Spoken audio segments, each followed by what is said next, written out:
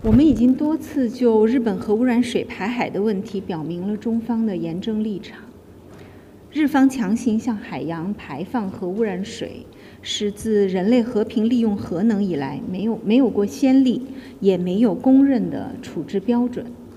国际社会普遍关注日方此举对海洋环境和公众安全带来的风险，并采取防范措施。中方的有关措施完全正当、合理、必要。